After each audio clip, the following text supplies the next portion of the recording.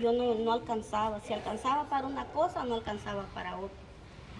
Y así es de que para mí la Navidad y lo después de que sucedió eso, la- viene la tragedia de mi mamá, que ella murió en diciembre también, el 12 de diciembre murió mi mamá. Y créanme que para mí tiene seis O años. sea que mañana está cumpliendo seis años. Tiene seis años mi madre, pero es como que la haya perdido. Digamos, que acaba de ser. Sí, porque ese día estaba graduándome, estaba yo cuando sucedió eso. Y ¿Graduando? Sí, era mi graduación de bachillerato y, y yo por eso le dije a mi mamá que no hiciéramos nada. Porque, pues sí, éramos bastante llegados a ella. pues, y, este, y me dijo ella de que acaba de fallecer. Que le informado y yo le dije, "Ah, pues no hagamos nada, nomás que... Y eso es algo que no tenga 10, 15, 20 años, jamás se le va a olvidar a un hijo. Nunca. A Nayeli sí. Es un dolor que siempre perdura por toda la vida.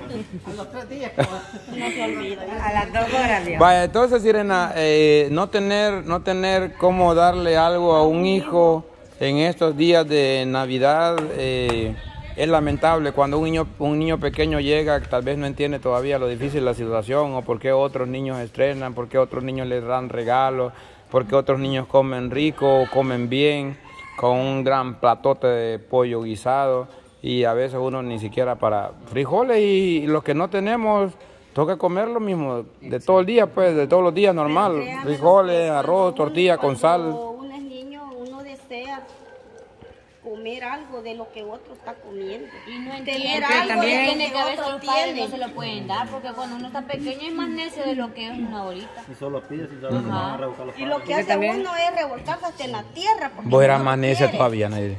¿Ah? Eras más necia No, todavía, pequeña. chiquita era más madura que ahorita. Ya, yo creo que sí. Entonces eso, eso es duro, Sirena. Se me fue lo maduro. O sea, cuando una hija llegaba y usted le decía, mami, yo, yo quiero comer, yo quiero Ay, las estrenar. tres se me nada que ¿Qué una. vamos a hacer? Le decían. ¿Y usted qué hacía? ¿Ponerse a llorar o...? Sí, yo, yo los abrazaba y lloraba. Es duro. ¿Alguien, alguien más que quiera compartir algo triste de Navidad? Que no haya tenido para algo. Ah, para no tener padre. Por algo que sea triste, que te haya Algo pasado. triste pues. que haya Pues, pasado. yo lo que, en realidad lo que me pongo en el lugar de los niños, pues. Ujú. De que yo antes, cuando estaba más niño, yo hubiera querido que por lo menos eh, hubiera alguien que, llegara, que llegara y que por lo menos me hubiera dado algo de comer, o unos dulcitos, o un juguete. Y, y yo digo, o sea, yo no tuve eso, ni, ni organizaciones, ni nada que iban a repartir, absolutamente nada. Y por eso digo yo de que ahora, pues gracias a Dios que nos está yendo, nos está yendo bien acá. Eh, tiene uno pues y ya con eso- esos recuerdos ya yo no quiero que los niños lo vivan como yo lo viví sino que por lo menos que digan "Eh, aquel bicho chele el- el uno que le decían enano o los del 4K eh, eso qué bonito la pasábamos porque ellos los venían a hacer eh, juguetes, a entregar los juguetes o ropa o los venían a entregar comida y todo eso esos, esos recuerdos en los que yo no quisiera que los niños lo vivieran pues, ¿entiendes? O sea, la que vivió, el que no tenía nadie que le diera, usted quiere compartir ahora No con lo que tiene. lo pasaste. Ajá. Eso es lo que creo. Tiempo Navidad. Y lo que querés ahora es que ya con las posibilidades que tenés, querés regalarles a ellos para que, o sea, ayudarles a ellos, aunque sea con juguetillos o algo así, para que ellos no sientan lo mismo que tal vez pasaste vos. Y O sea, prácticamente lo que quiere Nano es de que también ellos de su infancia, pues así como él, que cuando era pequeño, pues sí. Ujú. Vaya. ¿Y vos ves si una historia triste o siempre tuviste dinero y posibilidades y todo? No, camarón. Este, ay, Dios, así como ando sentimental, ya voy a poner Este, no, yo me acuerdo que cuando era la época de diciembre, mi mamá me había metido eso de visión mundial, a mí y a mi hermano. Entonces cuando era de visión mundial siempre llegaban a repartir juguetes y incluso mi mamá nos alistaba de temprano y si era posible pasábamos un día entero en una reunión solo para lograr un juguetito pequeño. Ajá. Una Y- muñequita, A mí una una lápiz vez me Barbie. regalaron. que se le caía en la mano, La pata de la noche, Pasábamos un día hasta, solo, solo hasta sin comer, solo porque nos, nos daban también un refrigerio, me acuerdo un juguito y un sándwich, a veces, o una galleta también nos daban y pasábamos todo el día. Y en- también me acuerdo que eh, cuando era la, la época de diciembre mi papá trabajaba, solo que mi papá en ese tiempo tenía vision. Ahora también va, pero no tanto como... Pero ella no vive con vos, la diferencia. Ajá, ella no vive conmigo, no sé yo. Pero sí, este, me acuerdo que le gustaba tomar y a veces mi mamá este, se tenía que rebuscar porque no teníamos ni para los estrenos. Y incluso hay muchas navidades que nosotros no estrenábamos. Pero a veces lo que nosotros tanto nos gustaba era que mi mamá siempre nos hacía nuestro pollito guisado y era lo que más nos encantábamos y esperábamos de toda la noche. Y me acuerdo que mi mamá hacía unas grandes parvas de, de, de lavada, o sea, de ropa, de pantalones, de gente desconocida. Este, a veces le cortábamos este, a naranja un palo que estaba ahí en, de la casa, enfrente de naranja, y las íbamos a vender a la barra. Espera que lo ponían en el arbolito como bolito. Y arbolito ni luces conocíamos nosotros en ese tiempo. Y este y me acuerdo también que me hacía toles, arroz con leche, íbamos a vender allá a la barra. Arroz con leche chiclín. Y mamá, No, pero la chiclín así. va para La chiquilín Pero- está loca. pero y, y, este, y ahora lo más triste que a mí me duele es que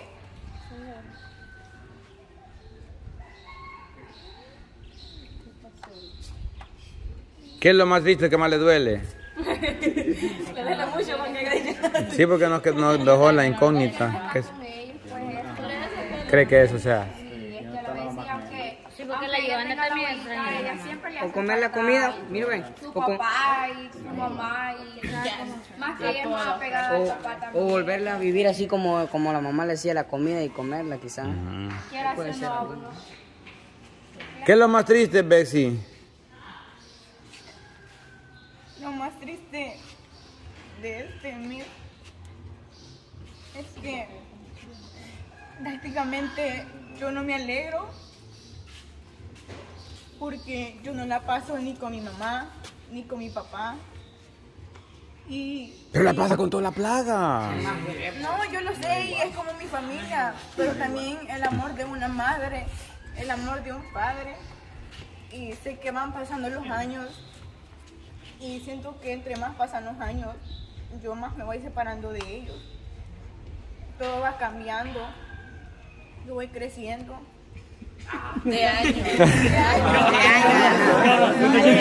Eh, se llama, es uno que dicen chistes navideños, pa. voy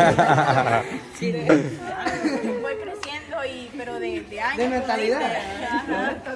y siento que yo algún día pues también me pongo a pensar eso de que algún día yo tengo que hacer mis cosas no sé un día qué tal ajá, mi propia familia no sé y ya no va a ser como aquí el tiempo que yo les voy a decir compartí con mi mamá compartí con mi papá más que Lo que vos te pones a pensar es que qué le vas a contar a tus hijos.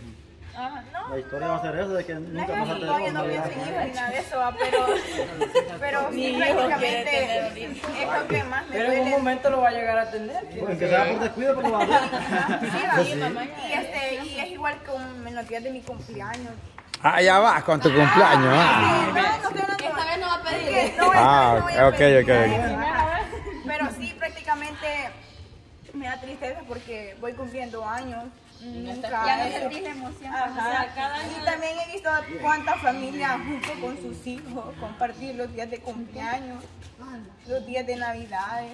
Sí, ya es tiempo que lo supere. Ya está vieja, eso es para niños. pues. No sé. A lo mejor quedaste en el pasado, pero que sentís todavía eso. cuántos años te dejaron? De cinco y medio. algo así. Vaya, entonces quedó en el pasado ella. Tiene que recordar ya. Por eso quedó en el pasado, es un problema así, eh, retraso psicológico. yo no sé. 13, 14 años, viejo. De 13, Sí, 13, pues sí, 14 cabal. Pasado ya. Sí, o sea, eso le digo, o sea, tal vez todos lo Pero es que no, yo siento que los que no pasan por eso no lo van a entender como a uno que lo pasa. O sea, usted tal vez puede decir, ah, ya le pasó, pero como a usted no le pasó. Por eso mismo, eh, lo que estoy diciendo que viene siendo como, como un trauma, pues resentimiento, como, como algo que le, ella le, le, le hubiese gustado seguir viviendo, pero ya no tuvo la oportunidad de hacerlo por, por cuestiones de la vida. Se fue, yo ya estaba grandecita y yo la verdad no quería que se fuera.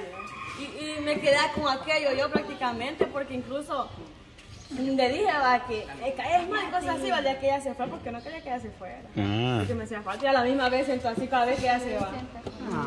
O sea que algo, algo similar cuando, cuando se iba a la garza.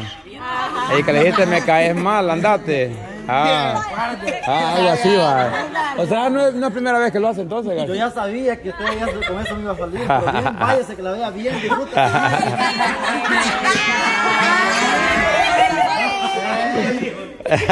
No, pero sí. Ah, pues cuando, cuando actúas así es porque sí te interesa la persona. Ay, qué raro. Quiere decir que por eso estaba va de besar aquel muñeco prieto que paría. Allá en Colombia. Vaya, Sapo, usted que ha también vivido proezas extremas, ¿qué le recuerda aparte de aquella gran fumarola que se echaba? Esos días, eso es lo que hacía, refugiarse usted en eso. Esos días Sí. El sapo le daba tres toques. Yo, yo no tengo, yo no tengo nada que, que recordar, decía yo. Estoy bien, contento. ¿Qué, qué hacía Sapo? ¿Se refugiaba en esas cosas del, del demonio o qué hacía usted? Yo recuerdo. Y la chistija lo ríe, mírala, mírala. Ay, conmigo le pasaba de ver a.